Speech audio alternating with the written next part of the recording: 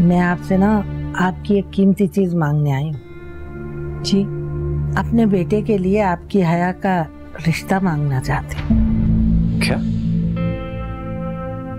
आप ये क्या कह रही हैं, अम्मी? वो फसादन औरत अनवरी खाला अपने बेटे का रिश्ता लाई थी।